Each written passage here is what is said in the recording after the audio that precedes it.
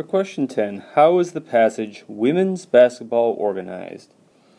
Uh, let's see. A. It describes an event and several changes resulted from it.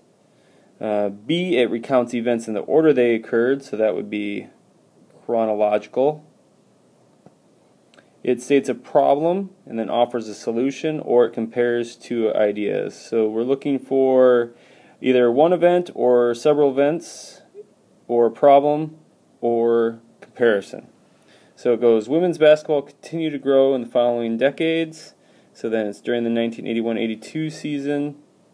We're talking about collegiate championships and then current tournaments. And then we're at the Women's National Basketball Association and how that's grown.